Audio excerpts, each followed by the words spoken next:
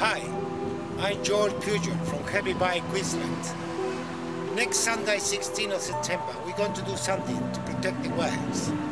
If you want to follow me, I will show you what I will doing.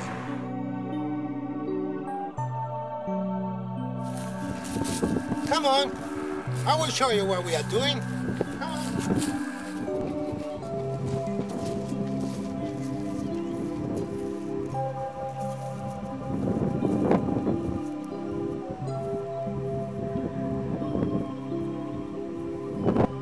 We are here.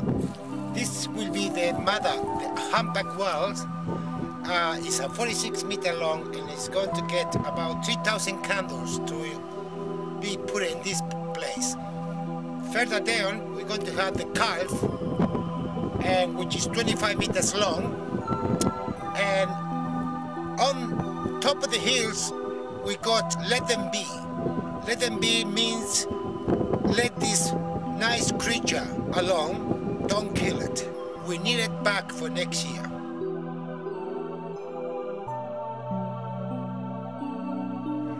What do we have here is 80 meters long, but 10 and a half meters high, and is the letter that said let it be.